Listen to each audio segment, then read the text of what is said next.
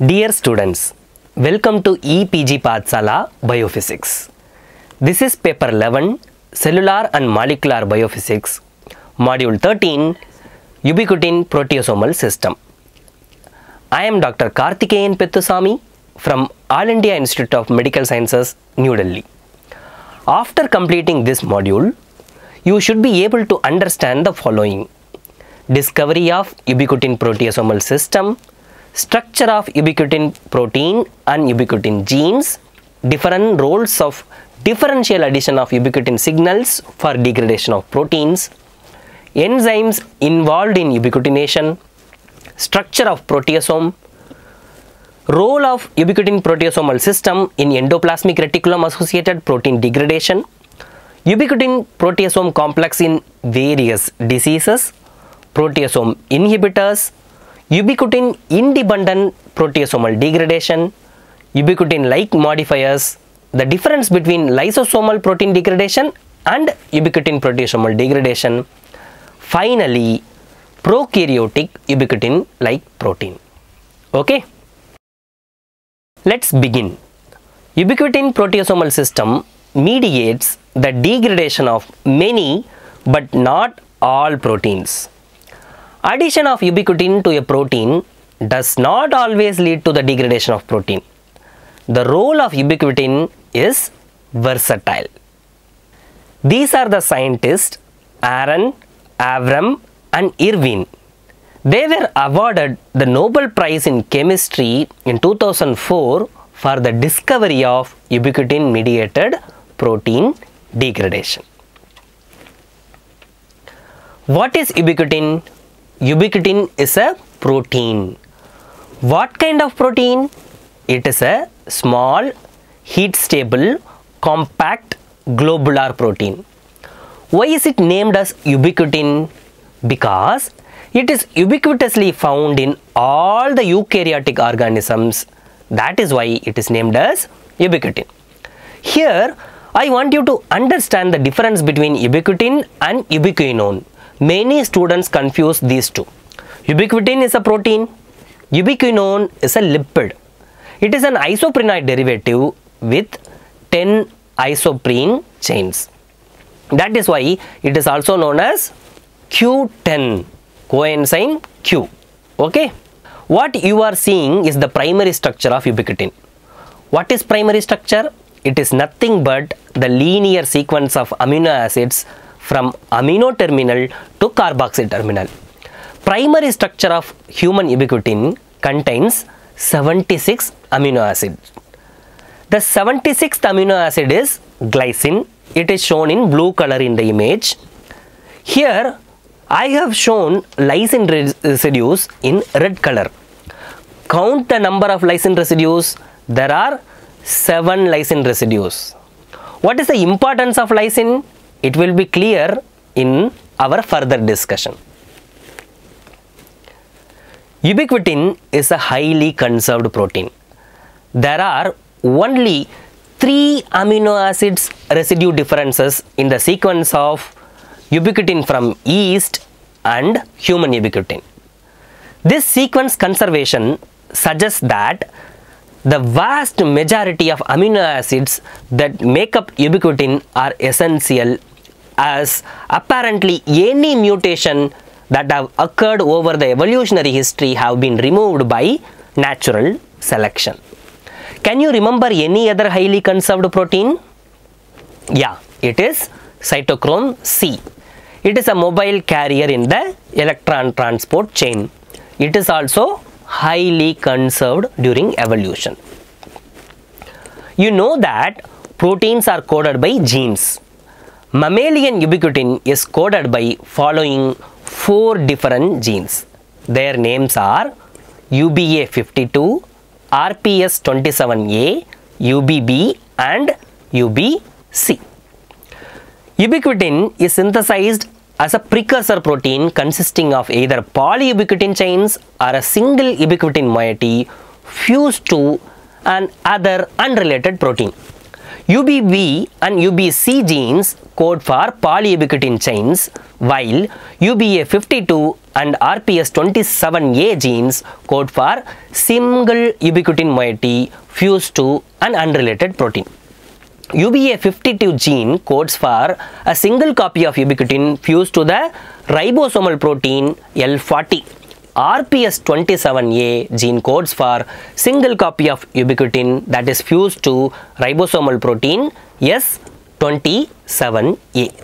Ubiquitination is the post-translational modification of proteins in which one or multiple molecules of ubiquitin is added to a target protein. Addition of single molecule of ubiquitin to a protein is known as monoubiquitination. This does not target a protein for destruction in the proteasome. Tandem addition of at least 4 molecule of ubiquitin is required for destruction of the protein in proteasome. Okay. So addition of at least 4 molecules of ubiquitin in a tandem order is known as polyubiquitination. You can clearly see this in the image. The term multi-ubiquitination or multi-monoubiquitination is self-explanatory and it can be understood by the diagram. And you see S in the image stands for substrate that is the target protein. What is that K in between substrate and ubiquitin? K stands for lysine. Okay. K is the one letter code for lysine. Ubiquitin is attached to the lysine of the substrate. It will be clear in our further discussion. Okay. Ubiquitination does not always imply the destruction of the target protein. Ubiquitination serves various functions depending on the number and the way of addition of ubiquitin molecules. In this table, it is shown that multi-ubiquitination is involved in endocytosis, polyubiquitination is involved in degradation of target protein in the proteasome. But you see the role of monoubiquitin is versatile. Monoubiquitination plays an important role in endocytosis, endosomal sorting, histone regulation, DNA repair, budding of virus and nuclear to cytoplasmic transport. Okay. Signals that destine the protein for degradation are found in the target protein itself. These signals can be explained by the following theories. N-terminal degron, PEST sequences, signals in the hydrophobic core of the protein, masking and unmasking. Let us discuss these theories one by one. N-terminal degron. Let's begin with this. First, you should know what is a degron. A degron is a specific sequence of amino acids in a protein that directs the starting place of degradation of the protein. The N-degron theory was proposed by Alexander Varshavsky. Proteins that have serine as the N-terminal amino acid were long-lived with a half-life of more than 20 hours. In contrast, proteins with aspartate as the N-terminal amino acids have a half-life of only 3 minutes. So, Alexander suggested that these amino acids in the N-terminal determine the half-life of proteins. Next, let us see what is this PEST sequences. See this PEST, it indicates the one letter code of amino acids. Okay. Certain amino acid sequences appear to be signals for degradation. One such sequence is PEST. P for proline, E for glutamate, S for serine, T for threonine. Clear? Proteins with PEST sequence has a low half-life.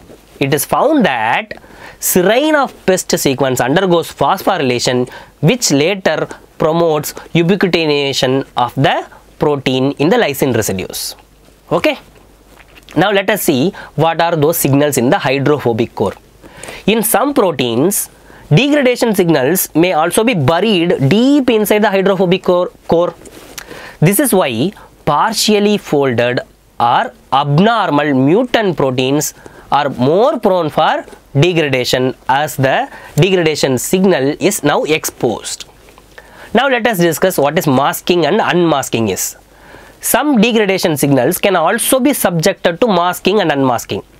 If the degradation signal is masked by protein-protein interaction, the protein will be long-lived. Once the binding partner is separated, now there is unmasking. Now the degradation signal is exposed, the protein is destroyed. Clear? Ubiquitination is a three-step enzymatic process. The three steps are activation, conjugation, ligation. There are three enzymes E1, E2, E3. Okay. Let us discuss one by one. First begin with activation. For a chemical reaction to occur, the substrate needs to be activated. Activation step is catalyzed by E1 also known as ubiquitin activating enzyme. There is only one E1 enzyme in the human body because there is only one ubiquitin. So you need only one E1. Okay. First, this E1 binds to ATP, magnesium and ubiquitin. In the next step, ubiquitin is added to the cysteine residue. See the image, it is clearly shown. The, to the SH group of cysteine, now the ubiquitin is added.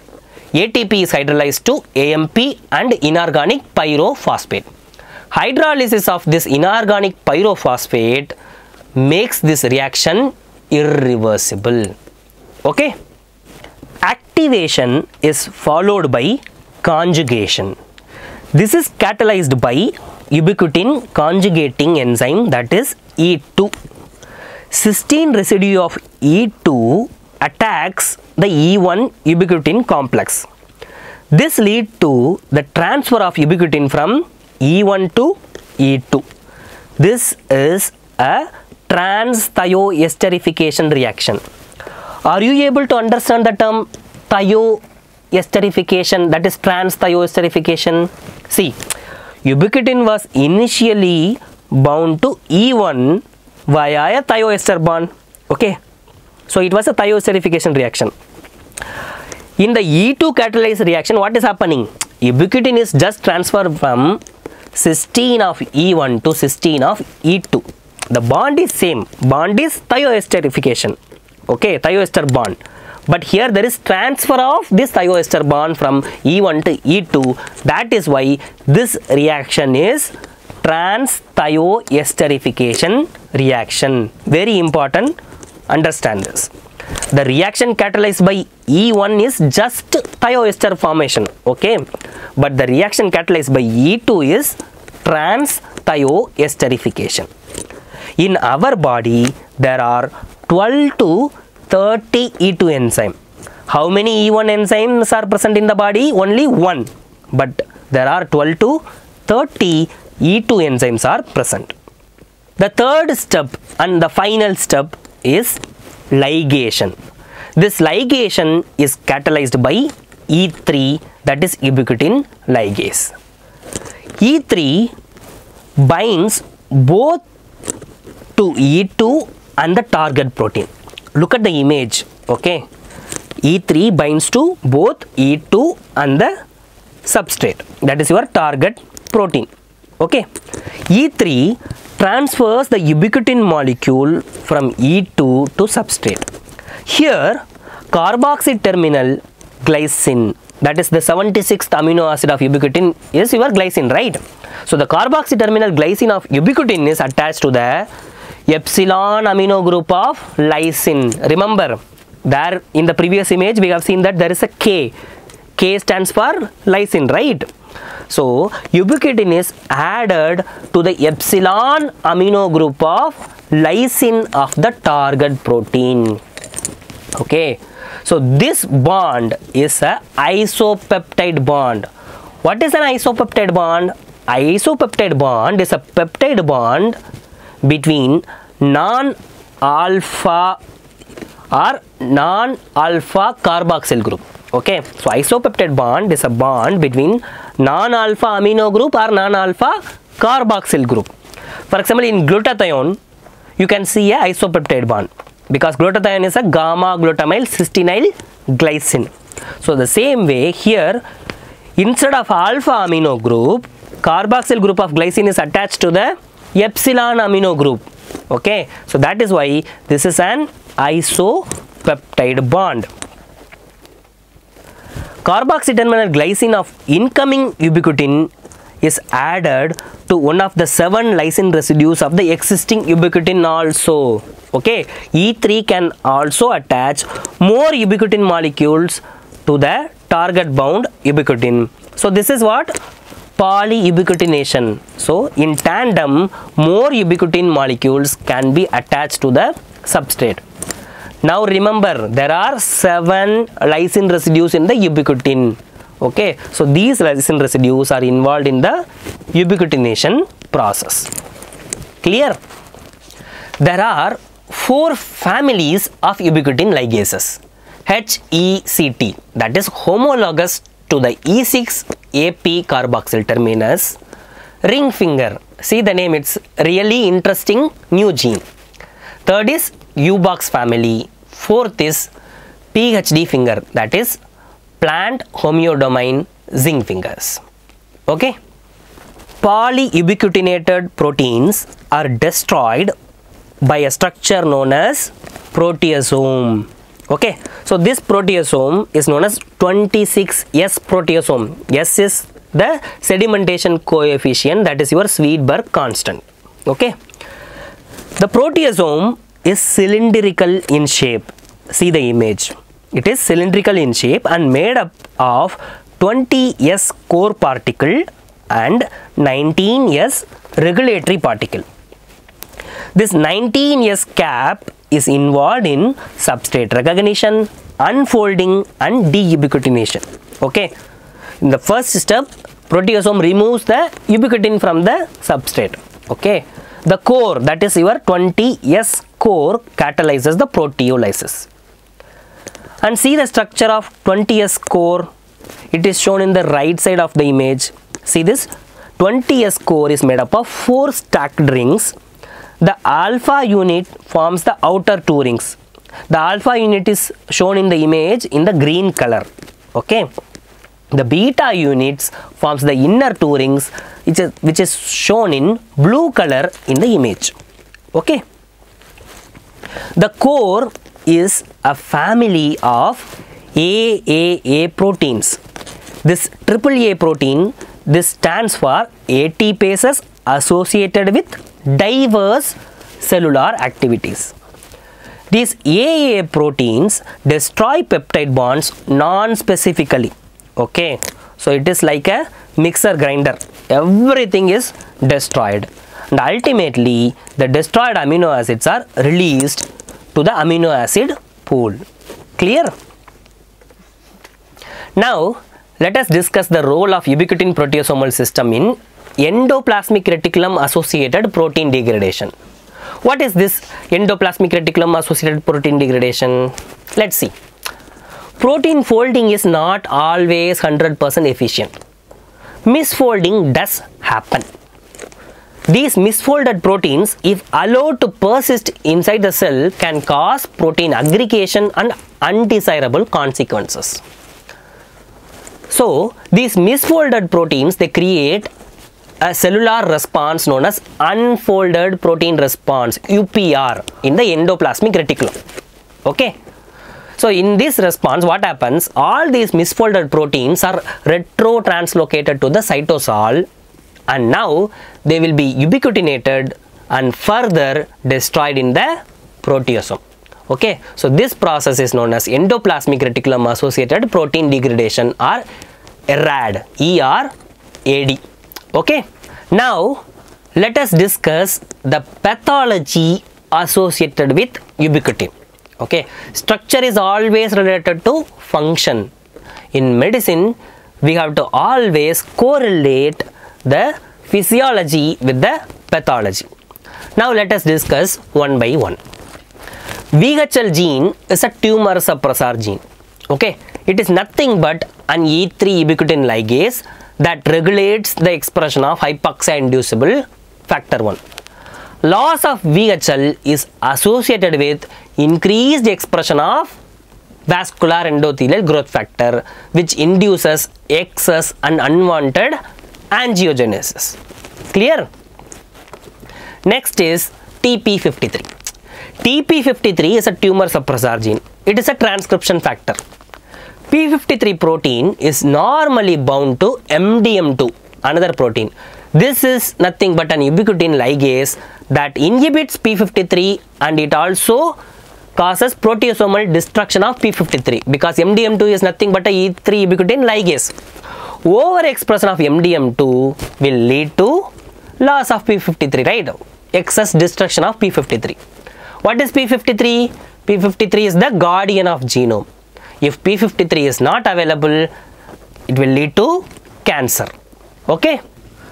Human papilloma virus 16 and 18 are associated with cervical cancer in females.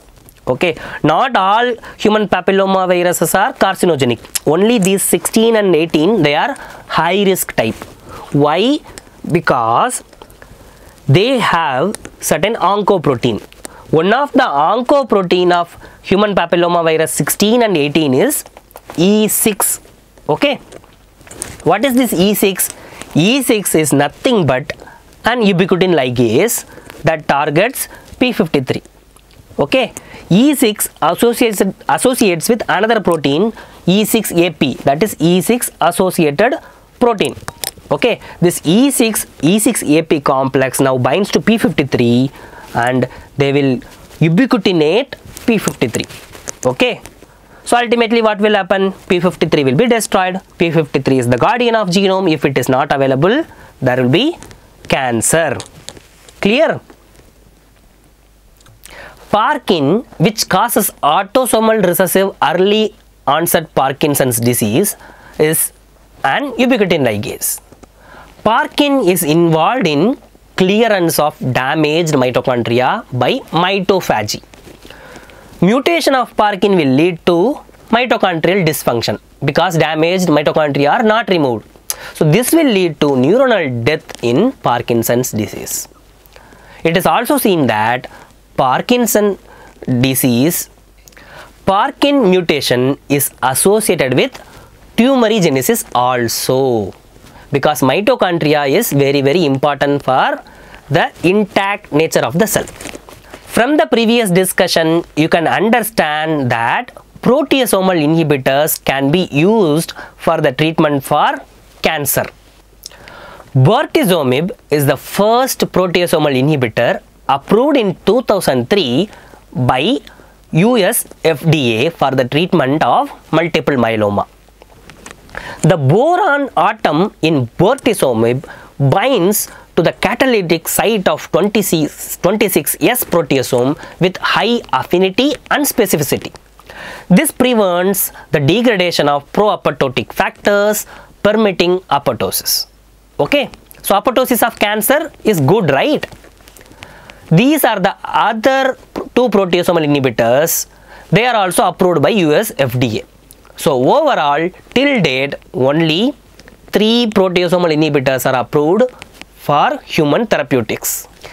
These are the other proposed proteasomal inhibitors disulfiram, epigallocatechin 3 gallate, marizomib, oprozomib, delanzomib, epoxomicin and beta hydroxy beta methyl butyrate.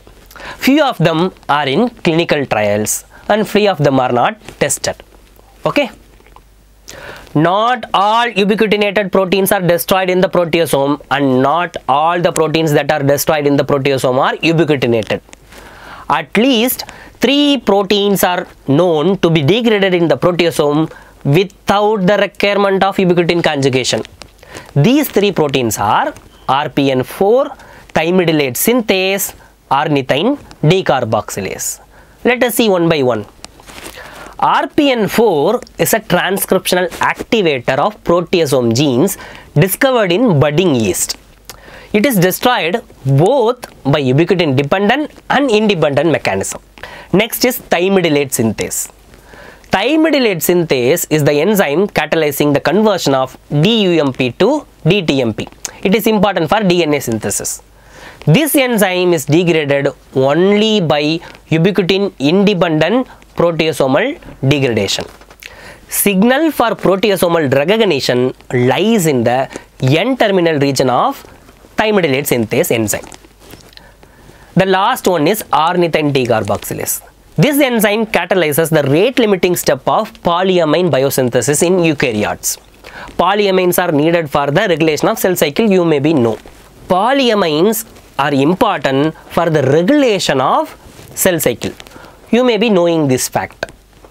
Excess level of polyamines in the cell induce production of a protein known as antizyme 1. Binding of this antizyme 1 to ornithine decarboxylase enhances the degradation of ornithine decarboxylase enzyme in the proteasome. Okay, so this is how without the need of ubiquitin, ornithine decarboxylase is destroyed in the proteasome. Clear? Recent years, ubiquitin-like proteins were discovered to be involved in modifying the cellular targets of the target protein. Okay, the three major ubiquitin-like modifications are isgylation, neddylation and sumylation. Let us see one by one. Isgylation, I-S-G-Y-L-A-T-I-O-N. Okay, isgylation is the addition of interferon stimulated gene 15, ISG15. This is also known as ubiquitin cross-reactive protein because it shares antigenicity between the ubiquitin. The same antibody that recognizes ubiquitin can also cross-reacts with this ISG15. That is why it is known as ubiquitin cross-reacting protein. Okay. This is the first ubiquitin-like modifier to be identified. Isgylation is similar to but not same as ubiquitination. Okay. Next is neddylation. Neddylation is the addition of NEDD8, neural precursor cell express developmentally downregulated gene 8, also known as RUB1. NEDD8 shares 60% amino acid sequence identity to ubiquitin. Cullin family of proteins are the targets of neddylation. Neddylation is very important for DNA repair. The final and important one is sumylation. Sumylation is the addition of small ubiquitin-like modifier. Sumylation is involved in nuclear cytosolic transport, transcriptional regulation, apoptosis, protein stability, response to stress and cell cycle regulation. You might have studied that sumylation is one of the histone post-translational modification. Okay. There is no storage form of protein in the body. Proteins after serving their purpose have to be destroyed. There are two major modes of destruction of protein. One is lysosomal protein degradation. The other is ubiquitin proteasomal degradation which we have discussed so far. So, it is important to differentiate the ubiquitin proteasomal system from the lysosomal protein degradation. If you see the table, you can understand the difference clearly. Ubiquitin proteasomal system is ATP dependent. It needs ATP. Okay. For lysosomal protein degradation, you don't need ATP. Ubiquitin proteasomal system destroys usually intracellular short-lived regulatory proteins. For example, cyclin.